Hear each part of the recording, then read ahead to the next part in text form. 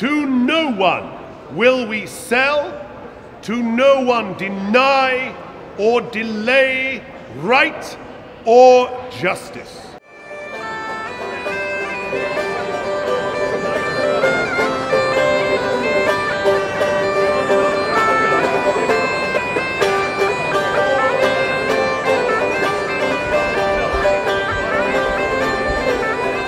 Wasn't expecting to be quite so overwhelmed by seeing all four copies together.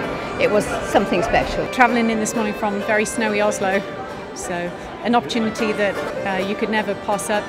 It's it's quite an impression to see it for realising someone you know, 800 years ago sat there and scribed that out and that's had such an effect on our history.